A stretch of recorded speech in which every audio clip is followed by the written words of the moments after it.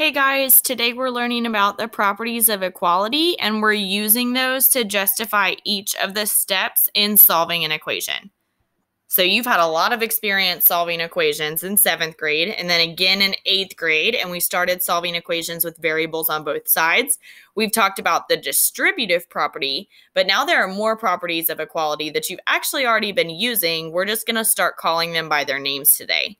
We're also still going to be focusing on making sure that our ability to solve equations is strong. So, this is something that you have to master in order to move on in eighth grade math. So, I want to make sure that you get lots of practice. Let's look at this first one. So, remember, my ultimate goal of solving an equation is to get a value for x. And so that means that my x's can only exist on one side of the equal sign. Usually, I'm looking for my variable to equal a constant or a number that's by itself. Here I have 6x on the left and 2x on the right. Then I have a negative 3 on the left and a positive 1 on the right. So all of my x's aren't occurring on the same side of the equal sign. Remember last week we visually represented this with the balance or the seesaw and we talked about if you take or add something to one side, you have to take or add the same thing to the other side. One of our rules is that whatever you do to one side of the equation, you have to do to the other. Okay, so there are several options when we're looking at this first equation, and I think that might be why some students struggle in the beginning with solving equations. There are multiple ways to solve. So if you want to subtract 2x from both sides first, great. If instead you see that you want to add 3 to both sides, great. If you want to subtract 1, great. If you want to subtract 6x, great. As long as you're using inverse operations to manipulate, you are doing perfectly fine. I can tell you though that the more I have solved these, the more I figured out that I want to stay as positive as I possibly can. So let's just think about, let's take some private think time to envision what would happen if I took 6x away on the left and the right. How many x's would I have left on the right side of my equation if I said 2x minus 6x? Mm, that would put me in the negatives. I'm not a big fan of being in the negatives unless I have to be, right? So instead, I'm going to decide to take away 2x from both sides. So I'm going to subtract 2x here, and I'm going to subtract 2x over here. That leaves me with 4x minus 3 equals 1. Now all of my variables are on one side. Perfect. So now I just have to isolate it. So first let's add 3, and we get 4x equals 4.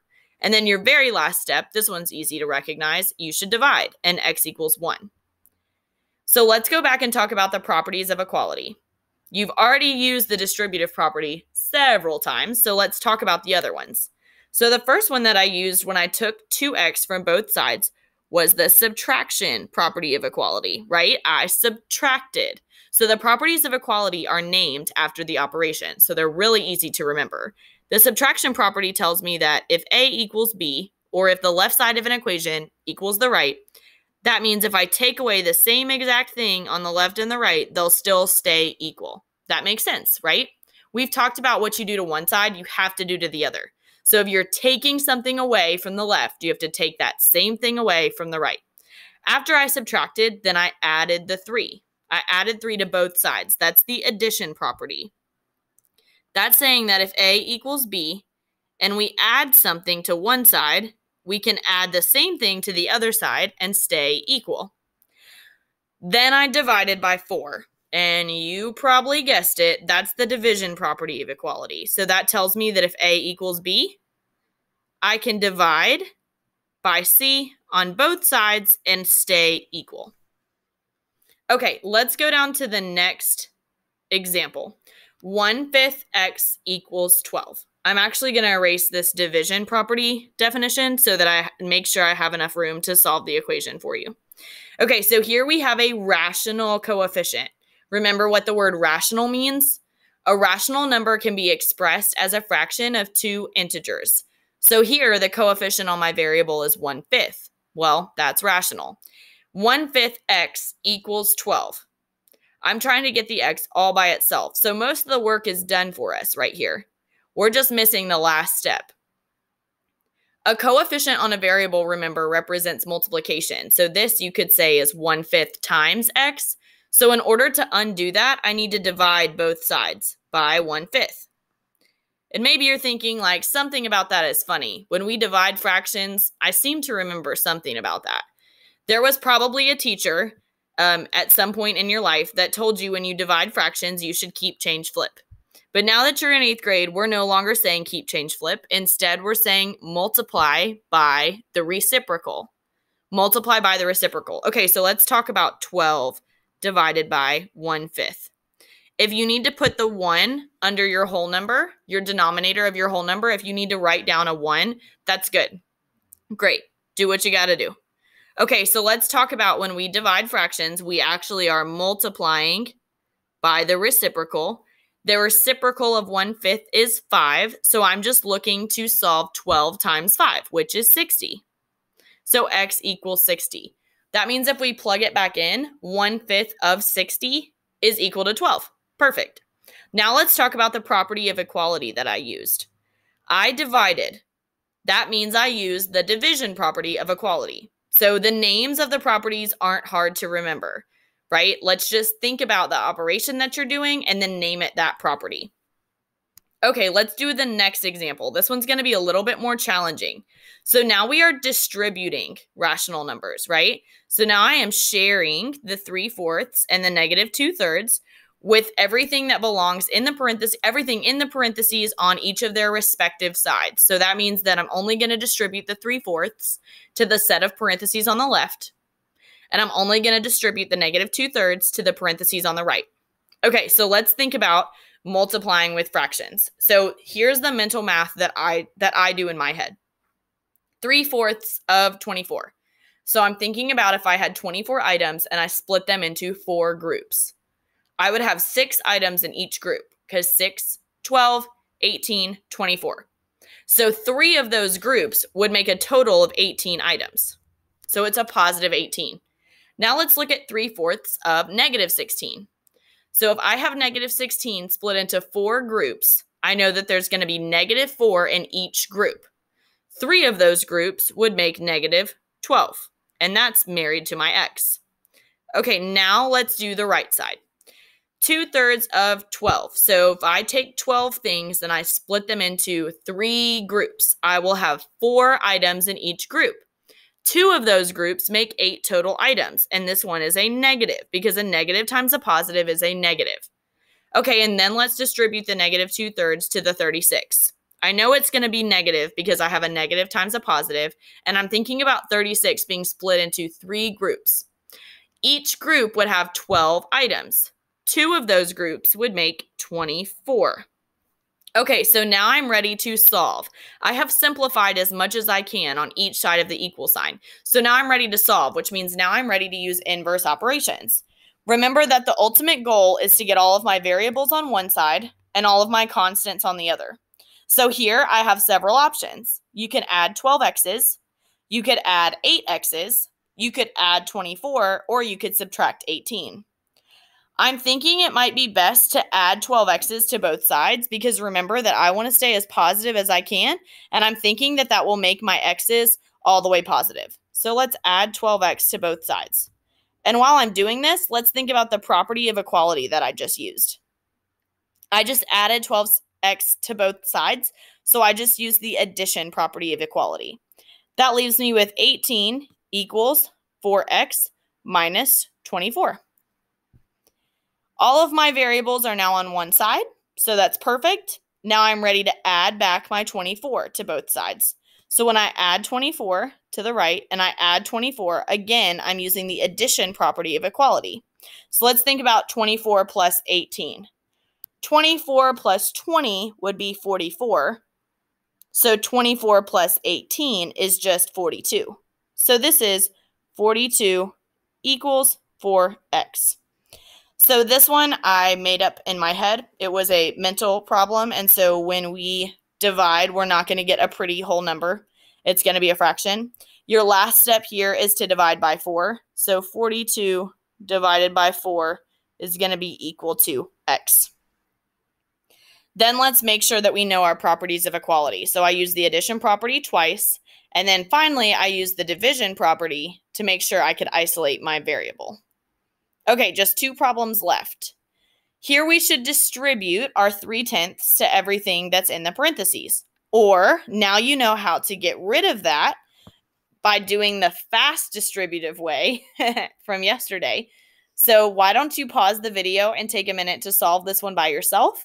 Unpause it when you're ready to check your work.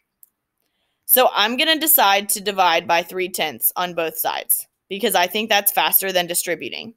That leaves me with x plus 2 equals, and then I'm thinking about 12 divided by 3 tenths, which is actually 12 times 10 over 3. 12 times 10 is 120. 3 times 1 is 3. Now I need to know 120 divided by 3. Well, 12 divided by 3 is 4, so 120 divided by 3 must be 40. Then I'm ready to subtract 2, and x equals 38. That means if I plug 38 back into my original equation for x, my left side of my equation will equal my right side of my equation. Okay, let's look at the last question. So this one's gonna um, this one's gonna challenge you to think by yourself and then use what you know about writing and solving equations to actually figure out the answer to the question. So I'm gonna read it to you first, and I want you to just follow along. A regular pentagon and an equilateral triangle have the same perimeter. The perimeter of the pentagon is 5 times the quantity of 1 half x plus 2 inches. The perimeter of the triangle is 4 times the quantity of x minus 2 inches. What is the perimeter of each figure? So, first, why don't you take some private think time to just consider how you would set up this problem and then what steps you would go through in order to solve. Okay, so it tells us we have two shapes. We've got a pentagon and a triangle, and they have the same perimeter. So, that's a really important point. They have the same perimeter. Remember that perimeter means the outside, like you're building a fence around the shape, right? There's a difference between perimeter and area.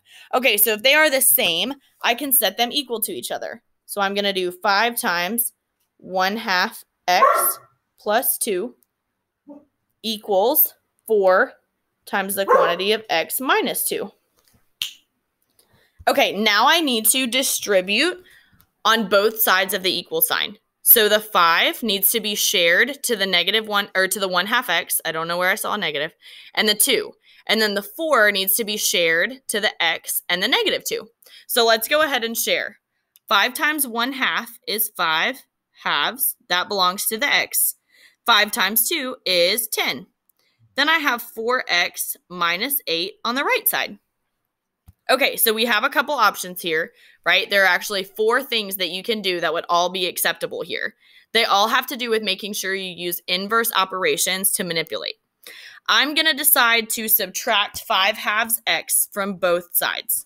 So if I'm subtracting 5 halves from here and subtracting 5 halves from here, I'm left with just a 10. And then I know I have the negative 8 on the end. So let's do 4 minus 5 halves. So five halves is two and a half, right? So four take away two and a half leaves me with just one and a half left over, or three halves. So this is going to be three halves x. Then in order to isolate x, I need to add 8 to both sides, and that'll give me 18 equals 3 halves x. And then lastly, I need to divide, and I need to divide both sides by 3 halves. Remember, dividing by a fraction is the same as multiplying by the reciprocal. So 18 times 2 is 36, divided by 3 is 12. So x equals 12. Now let's go back and look at what our question is asking us. Our question is asking us for the perimeter. They're not asking us for the value of x. So remember, our perimeter is given by these expressions. So we just need to pick ones to plug our value back into so we can actually solve. Well, I think the perimeter of the triangle would be much easier to solve for, so let's use that one. So I'm going to use 4 times the quantity of x minus 2 and I'm going to substitute the value that I just found for x in order to actually find that perimeter value. So 4 times the quantity of 12 minus 2. 12 minus 2 is 10, and 4 times 10 is 40.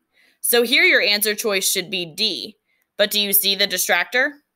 I think there are definitely some students out there, and maybe even some not students, who would have seen x equals 12. Oh, A has 12 inches. Perfect. That's